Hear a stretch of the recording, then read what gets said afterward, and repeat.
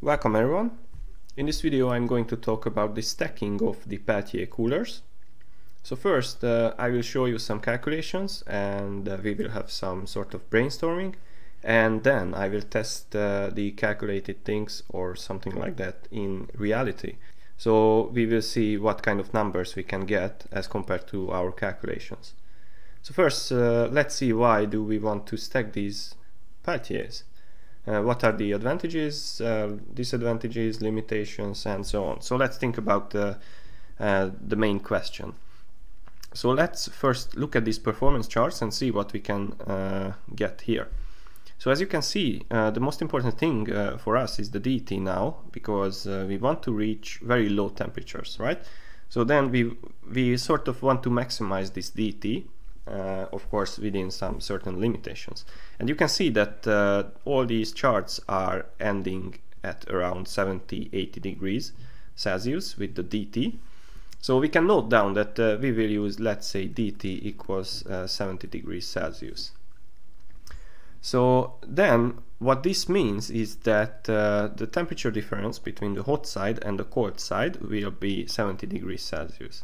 So if we say that uh, the hot side is, let's say, uh, 50 degrees Celsius, uh, then by using these two numbers, we can get the cold side, and that is basically the TH minus DT, and in our case, this will be minus 20 degrees Celsius, right? So then we say that if we apply those uh, certain values, current and voltage, uh, which needed to be uh, reached or applied to get to this uh, 70 degrees dt, then we will have uh, minus 20 degrees on the uh, cold side. But at what cost? So let's say we choose our most powerful unit here, so we go for 70, and uh, this is the 50 am 15 amperes uh, unit. And then we see that this is pretty much 16.5 volts. This will be important and uh, here we are at of course uh, 15 amps with this so this is the black curve and uh, that means that if we are at 15 amperes and the DT is chosen to be uh, 70 degrees Celsius then we can go to our performance chart and uh, do the same practice or exercise. So 70 and then 15 amperes. And we see that this is roughly let's say 17 or maybe 18 watts. Now it doesn't matter. Uh, so yeah it's roughly 18 watts of cooling power. So if you want to maintain minus 20 degrees on the surface of your cold side of the TEC 12715 then you can only provide uh, 17 to 18 uh, watts of uh, cooling power which is very low uh, for purposes for different purposes.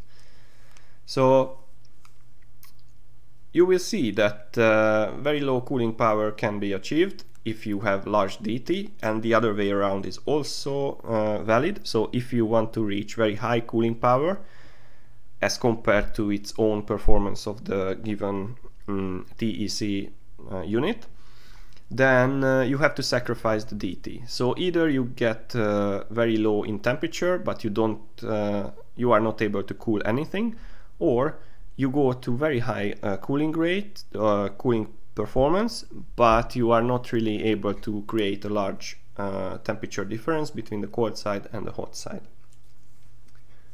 But uh, now we want to stack uh, two or three or more units. So we have to think about uh, these things a little bit because when you want to stack, let's say now let's stick with two units, the following things uh, are happening. And uh, let me just do some drawing with the two units and uh, I can explain this in a better way.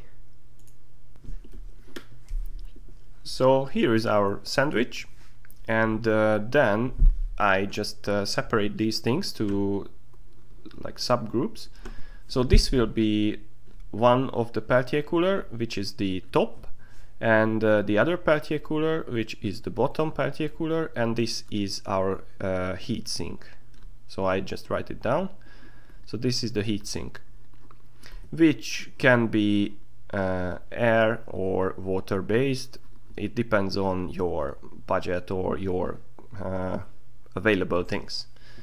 But uh, this is the heatsink. So what happens is that uh, let's say we have some object here, something, we want to cool it down and then uh, we want to uh, reach some certain temperature. So what should happen here is that the heat should travel from the body or from the object to the heatsink, right?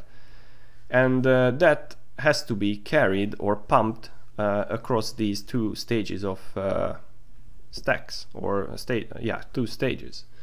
So what happens here is that uh, uh, first the heat from the object is carried from uh, which is in contact with the cold side of the top Peltier unit is carried to the hot side of the top Peltier unit which is in thermal contact with the top or cold uh, side of the bottom Peltier unit.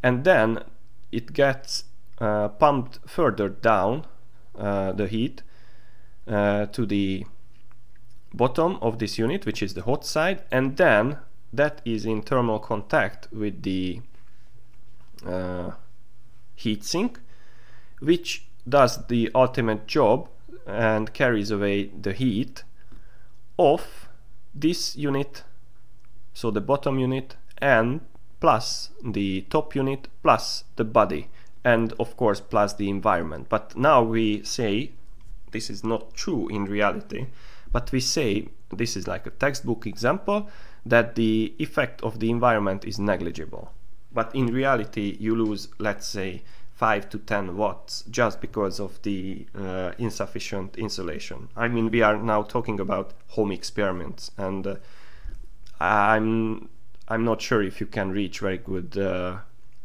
insulation except you have very nice tools i'm happy if you can uh, insulate your Peltier cooler better than that, but uh, a general experience is that uh, you cannot reach uh, very good insulation, so you lose roughly 5 to 10 watts, depending on the performance of your cooling uh, uh, unit, of course. So we saw that the heat jumps through several stages of these kind of coolers, but what happens here? So uh, you have to run these two units. So to run them, you have to provide a current and you have to provide uh, voltage, right? And then here, let's call this I1 and U1. And this will lead to a, a power. So this will be P1. And then by using this power, we will be able to uh, provide some sort of cooling power. So let's call it Q1. And the same happens here, but now let's uh, mark it with the number 2. So I2 times U2, uh, I remove this before it becomes a square, uh, that equals to P2, and that P2 will uh, provide you a Q2 uh, cooling power. So when you try to see how much cooling power you need uh, on your heat sink or cooling performance, in order to remove the heat from the hot side, you have to consider both terms. So for example, if I just take one unit, uh, first this, this will be the heat sink, now it's uh, HS, and then this is the total uh, Peltier, so this, this box contains both the, both the hot and the cold sides. So then this has the P performance uh, or power, sorry, uh, which comes from the U uh, times I, plus it has the Q, which is the cooling power. So basically the heat, which is, let's say, removed from the object, so the heat which is pumped from the cold side to the hot side, and this, these two terms will appear on the hot side which is in contact with the heatsink. So the heatsink has to deal with this sum. So let's uh, do a quick example here uh, and uh, see what we get. So uh, let's use the numbers above here. So we try to reach the highest possible uh, DT uh, with this. Well, now we are just talking about this unit. and we are using the 15 amperes so we are running at I equals 15 and then we saw from this that uh, the voltage is roughly uh, 16.5 volts right? So if we take the product of this 247.5 watts. So this is just the heat uh, basically just the heat generated by the operation of this thing. And then we have to read the chart. So uh, follow me. Uh, we are here. So we said that 15 amperes 70 degrees dt so we are at let's say 18 uh, so q equals 18 watts. So if we just uh, add the, these two numbers that is 265.5 watts. So this means that the heatsink uh, has to deal with this much heat load. So this is this is quite high, and this is just one uh, TEC 12715, and we want to stack them. So that's quite a quite a big deal. So what can we do and how can we approach this kind of problem? So I was thinking and I thought that okay we can have like a top down method so we start from the top unit so let's say we have a two step uh, uh, stacking so we are using two units. So we when we use the top down we first pick the top unit and we try to maximize uh, the uh, temperature difference there. And then we pick the uh, Peltier cooler to the bottom according to that kind of performance. Or we can uh, go bottom up let's say. So we pick uh, some uh, relatively reasonable uh, cooling performance uh, which we think that it will be enough and that will be for the bottom unit so the one which is in contact with the heatsink and then based on the available cooling power uh, we can pick the top unit. So we can see that let's say in the bottom we can remove 100 watts of uh, cooling power. So we see that okay now we have 100 watts. So this uh, P plus Q should be less than 100 watts on the top unit and we can see the performance charts that uh, what unit can provide uh, the best uh, DT for 100 uh, watts. And uh, again you have to consider both I times U plus the cooling power because you pump the heat through this thing uh, as well. So that that's also in the equation. And now let now just let's uh, go with the top down uh, method uh, just for uh, fun. So I just write it down. So we pick the top down so first we pick the top unit. And I want to go with the 3 ampere unit because that that's a good uh, good uh, unit for this kind of uh, calculation because now we don't want to remove heat. So we don't want to cool really but we want to reach very high uh, cooling uh, uh, we want to reach very high differences between the hot and the cold side. So we want to have very cold cold side. And low current unit is good for this because uh, first of all, we run the unit at very low currents as compared to the other units. So the Joule effect and uh, the P equals uh, I times U will be uh, small. And uh, also the cooling performance of these partly because of the unit itself and partly because of the high DT. Uh, the cooling will be very uh, low. So the Q term uh, in the top part will be also low. And that's very good for us now. So we pick the top unit and that uh, will be the 12703 and uh, then we try to maximize the delta T. So let's go down to this chart and uh, let's see what we have first here. So let's uh, say that 70 degrees Celsius. So we pick this and we go here. So uh, we see that uh, we apply 4 amps and at 4 amps uh, we are again uh, roughly around 16.5 volts.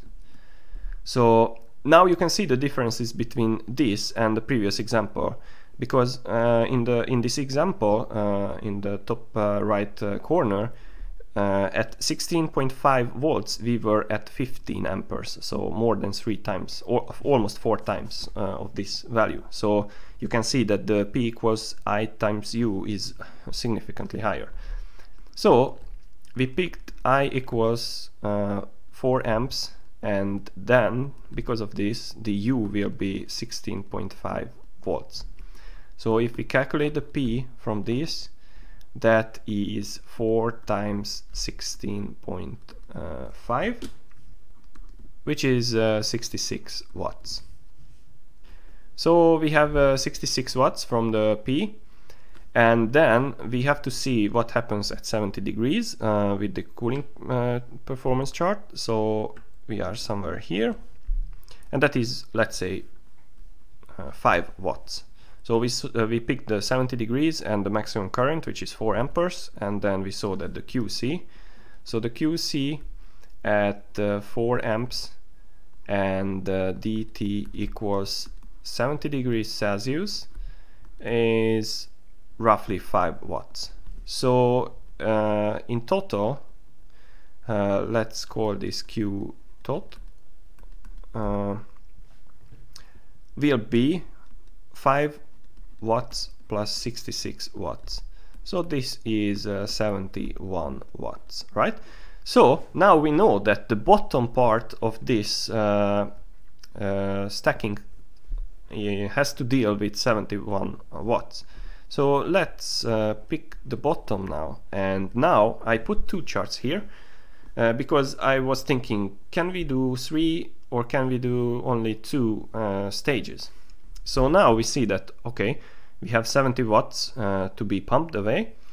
So I, I just write the numbers here. So here the maximum heat load uh, can be basically 5 watts and nothing else because otherwise we don't reach the, this delta T. So the QC is basically goes here.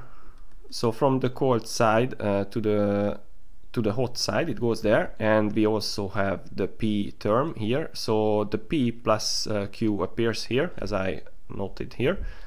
And that is uh, 71 watts. So that has to be uh, carried across this and then now here we will have 71 watts plus of course the p2 uh, plus the qc2 and that will appear of course in the heatsink as well.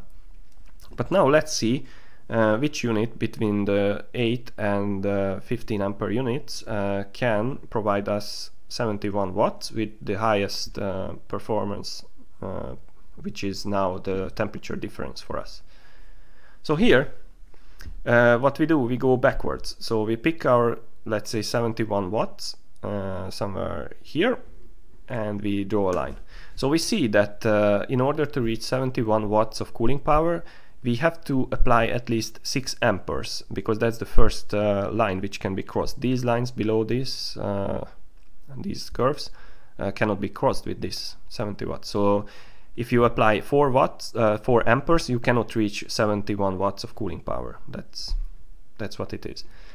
And then uh, you can see that if I go here this is like 2 watts of uh, sorry 2 uh, degrees uh, temperature difference and then this is 10 degrees temperature difference and this is 15 degrees temperature difference so for example if we take that our hot side is at 50 degrees and uh, we can go and bring it down to uh, from 50 to 35 then we go from 35 to to minus 35 if we have this uh, 70 degrees. Uh, so that's not so good.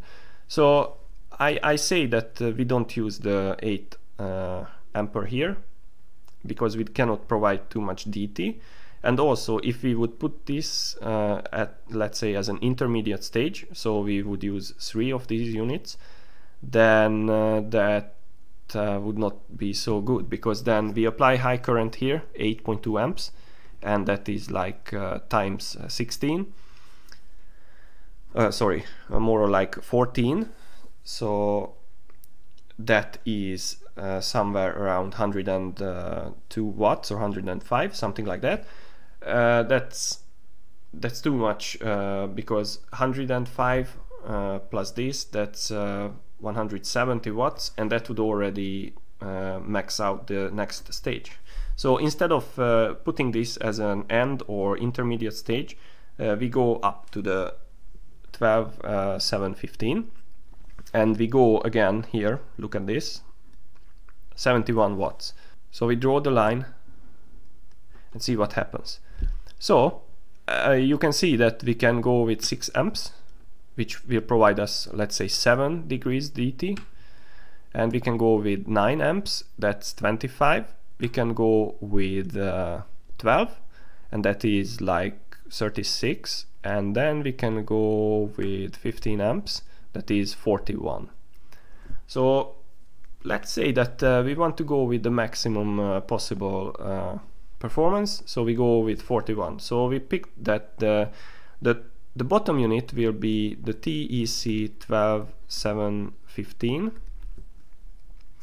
at uh, I equals 15 amps and uh, then the Q uh, C at this is 71 watts. Actually, I would uh, shoot about this at least by 10 15 watts, but now uh, we do like this, so we don't care about losses and stuff. But uh, this is just for exercise. You can do it yourself by overestimating the the power coming from the top unit, and then you just search for let's say 80 watts instead of that. Like I, I just show it to you. So here uh, the minimum is 70, maximum is uh, 105 between these two ticks. So this is roughly at uh, 87. So this this could be nice for us. So we can barely reach this with 6 amperes. So there is no uh, DT basically. So we can just pump the heat. So in this case, when you have zero, then this unit would not do anything else. Just it would act as the heat sink. Uh, so that, that doesn't mean anything to us. But at 9 amps, we have like 19 degrees DT, 30 degrees at 12, and uh, roughly 36 at uh, 15 amps.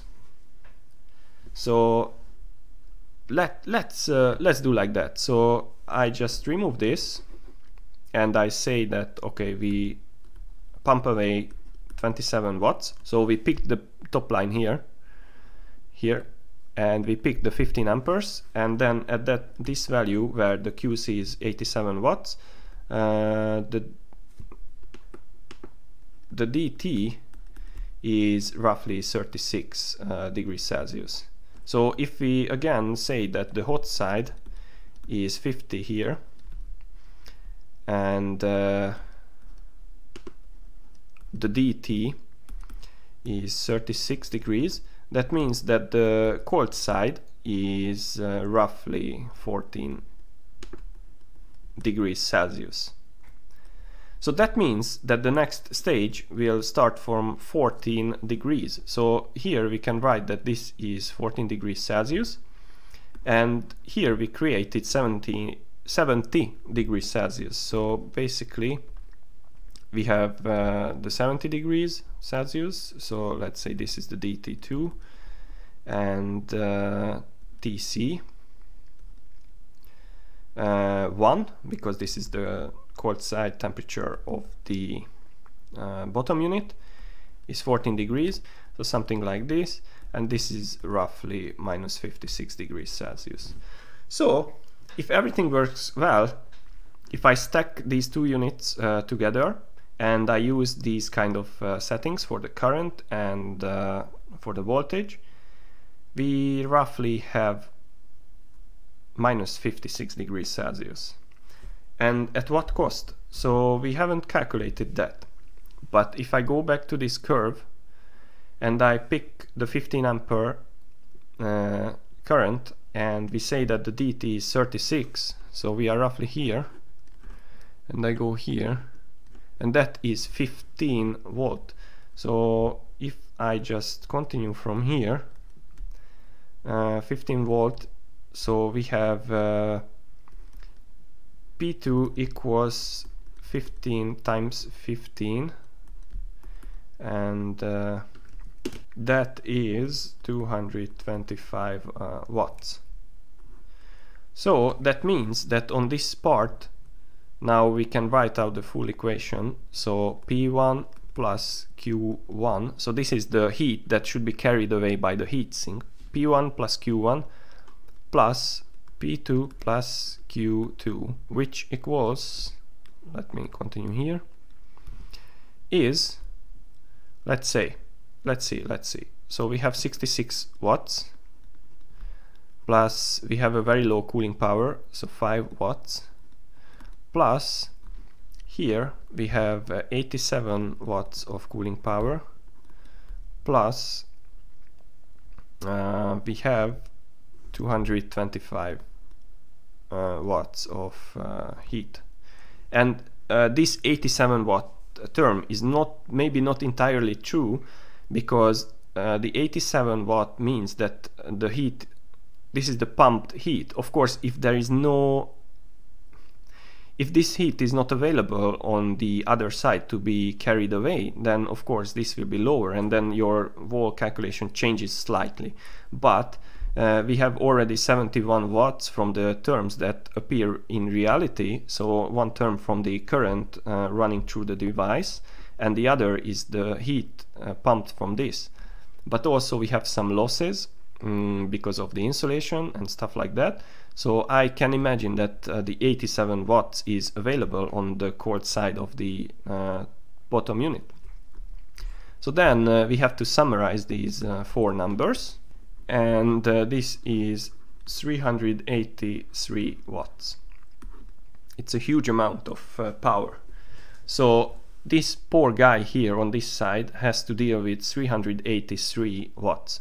I can tell you that most of the CPU coolers are rated for less than half of this. They are usually around uh, 150 watts. If you see these numbers on the packaging of the CPU coolers, they write something like TDP equals 150 or 100, so sometimes it's even worse.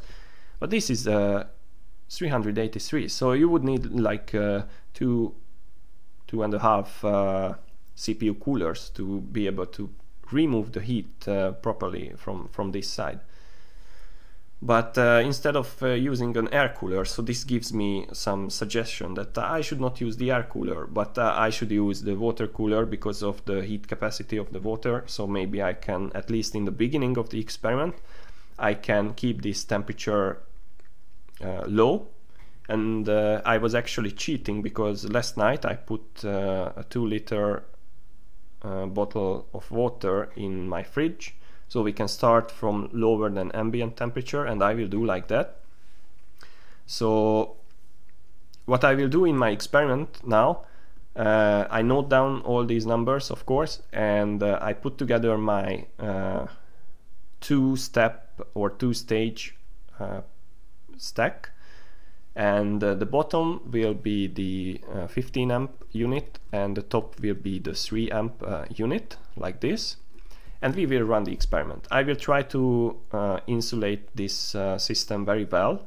So I will try to use some foam everywhere and maybe some uh, piece of cloth and uh, stuff like that. So I want to reduce uh, the, uh, let's say, power which is leaching in into the different parts of this system as much as possible and then we will see what is the top temperature and I will monitor the temperature of the water, the ambient temperature. I will use two different types of uh, thermometer to monitor the top uh, surface so we will see if there is some uh, significant difference between the temperatures with uh, different uh, thermometers and so on. But what we expect is uh, we can go below uh, 56 or we can go below minus 50 degrees, let's say, because there will be some losses and uh, I, I can imagine that uh, this calculation is not the most accurate, but it uh, shows you the basic principles. So just again, uh, when you go like top-down uh, method, then first you see what is your top stage and we are now assuming that we are using uh, two stages so I write it here uh, if I could write. So two stages and uh, the, we first pick the top stage because then we know what kind of heat we should uh, carry away uh, with the bottom stage. So we can pick the performance of the bottom stage accordingly.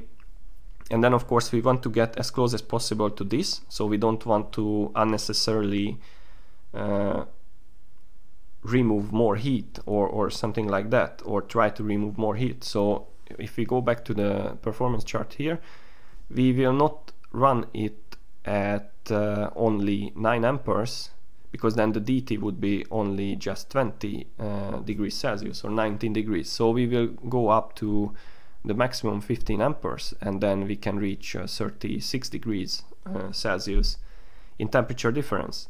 So therefore uh, the cold side of this will be 14 degrees instead of uh, let's say 30 degrees if we use the different uh, currents. So yeah, so we decided the top stage and then we go to the bottom stage and we pick that according to basically this number. And what we, you have to really, really consider that uh, on the hot side of each Peltier unit, it's not only the QC that appears. The QC comes from outside basically. So you remove the heat, basically, let's say there is a heat sink on this uh, part and then the heat sink is in contact with the environment so you remove the QC basically from the environment and that appears on your uh, cold side here and that is being pumped from the cold side to the hot side. So that one just one thing that appears on the cold side. Maybe I haven't emphasized this in my previous videos enough but this is just uh, one thing.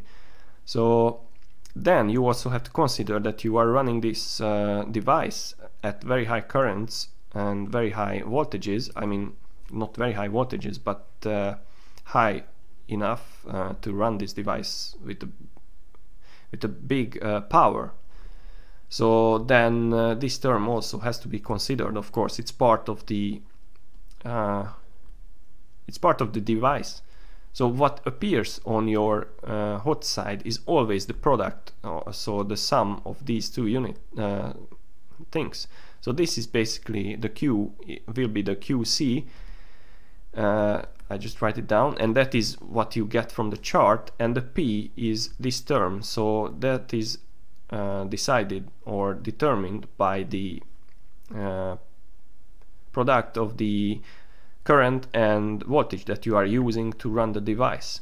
And then if you stack them then you have to carry these two things to the next stage. And the next stage should be able to remove this product plus uh, the the heatsink should also remove the so here the the very very bottom or final stage the the heatsink should be also should also be able to remove uh, so the product of this so P1 plus Q1 what I wrote here plus P2 plus Q2. So then you see that you get these uh, ginormous numbers. So yeah, so now we could see some numbers and I think I talked enough in this part. I hope it was not boring and it was useful somewhat. So now I will jump to the experimental part, which I expect to be more uh, interesting. And then we will see if it works in the reality as I calculated it or not. So let's see what happens in reality.